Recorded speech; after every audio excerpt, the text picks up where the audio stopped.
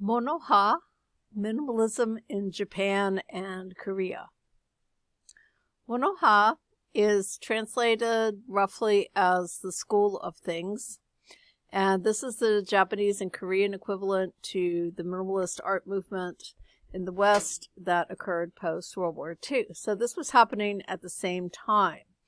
And the reaction here was to the growing industrialization, representation, and the development of a technological culture in Japan, where things were being manufactured, combined, and becoming more and more artificial.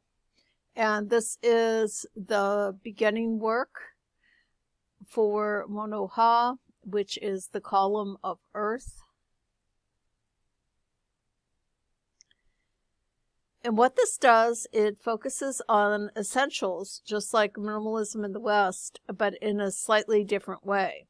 Because rather than focusing on the basics of the principles of designs, art elements, composition, and abstraction, Mono-ha primarily focuses on pure natural materials, the artist's process with the materials, and it's a minimal process, mostly just arrangement, and the location of the art. And on the right, you are seeing a Mono-ha sculpture that just is wood and stone. Some of the principles of Feng Shui are present in Mono-ha, which is arranging natural elements to work together. And here, basically what the artist has done is both cut the trunk so that it overlaps on the stone and then stack things. It's very, very simple, pure, focused on the materials. So there's a relation between Mono-ha and Shintoism. We talked briefly about Shintoism yesterday when we talked about Marie Kondo. And Shinto religion holds a belief in kami, that the spirit inhabits all things. Mono-ha recognizes the kami by focusing on natural things and using them one or few at a time, so just in their pure forms. Mono-ha builds and restores the relationship between the artist and the kami of the material because the balance has been disturbed by industrialization, development, and technology.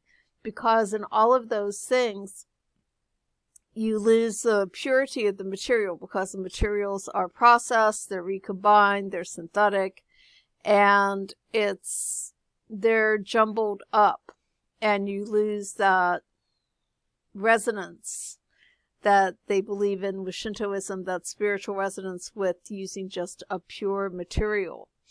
In this case, uh, they are burnt wood, which is before the state of charcoal or coal, K-H-O-L, which is what's used for drawing.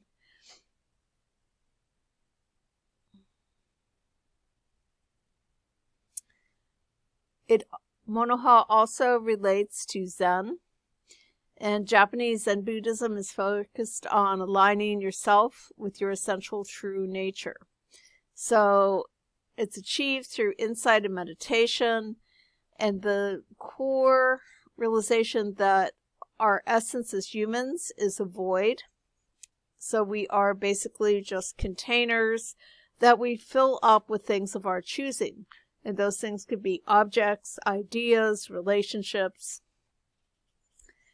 And you have to declutter them and get them to their essential elements. And you do that through meditation, which is connecting to the essential elements of the world. Therefore, you connect to your essential nature and through arranging them. You can see on the top right, there is a Zen temple it's not something that you actually go into, it's something that you go around, and your movement around it is part of the meditation. And then the symbol for Zen, which is the loop circle, but it's one brush stroke. So it's one simple thing that becomes all things. In Zen gardens, to meditate, you manipulate the materials. Sometimes it is actual rearrangement and placing of the rocks and other objects, natural objects. But it's also the raking of the gravel or the sand that's in the gardens and creating those meditative patterns. The point of Zen is the doing of it, not the finished product and what it's going to look like, but letting the process become unconscious. One of the things that, if you know how to drive a car, that's a good analogy to Zen because when you're first learning how to drive, you have to think about the car. You have to think constantly about everything that's going on and all the things you learned to driver's ed and are you doing things right or wrong. But then after you get years of experience in driving a car, you do all those things automatically. You don't even have to think about them anymore. You go into a Zen space and your physical body and your Zen state takes over and you can drive and you automatically can judge things like distance and speed and accuracy and time and curves and things of that nature.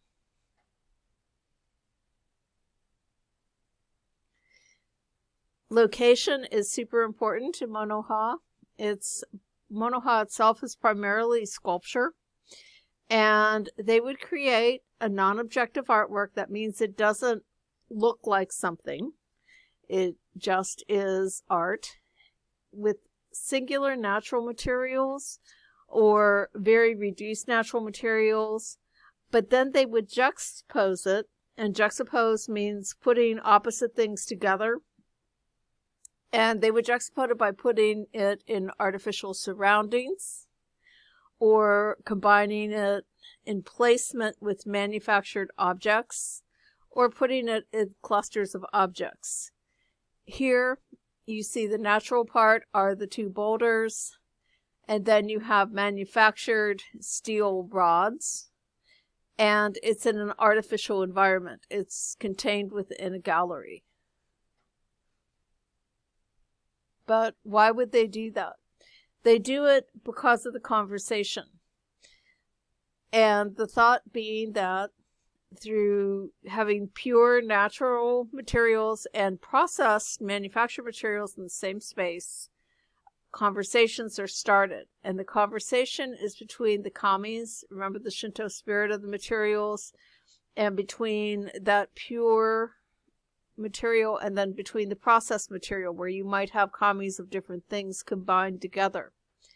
It also creates that conversation between the people and the materials, the viewer, and making people remember that everything has a spirit. Some are pure, some are transformed. And there's a difference between the two of them.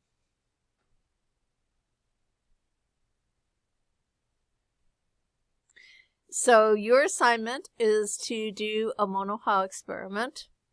So for your materials, you have to use a natural material. It can be whatever you have at hand. It could be rocks, dirt, wood, plants, but just choose one material. So you're just using rock or dirt or bones or what have you.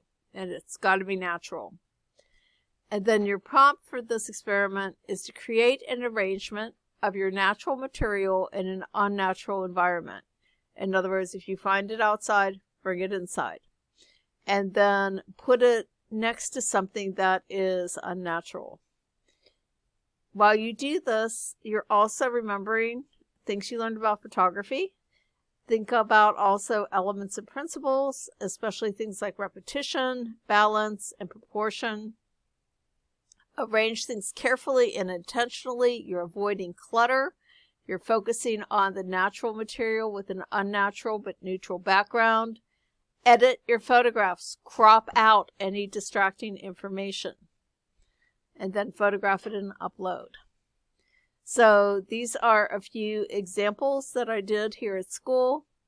Um, this are two fish scales on one of the plastic you know, little notebook cover portfolio things. And that's okay. It really emphasizes the fish scales and it just looks like they're on a plain black background. These are much more the conversation between natural and unnatural. On the left, you have the same two fish scales, but I had them on a mirror, which is unnatural, and that mirror is reflecting the ceiling tiles. And the ceiling tiles also create a perfect grid, which is another unnatural structure. So you have those organic shapes, organic materials on that very industrial type grid and surface. And then on the right, and I've turned this to black and white, I have a bone, which is a natural object. It's a knuckle bone. And it's on pleather. Pleather is, it's by the door. It's what I have the hand sanitizer on. It's painted silver and it's fake leather that's made to look like pigskin with all the little bumps on it. So you have the natural bone with its natural textures and crevices on something that is supposed to be replicating skin. But when you look at it, you can see that it's a little too even, a little too perfect. And you have that kind of conversation between the remains of a real animal and something that is imitating a real animal. Okay? So you just have to do one photograph and turn it in. That's your experiment.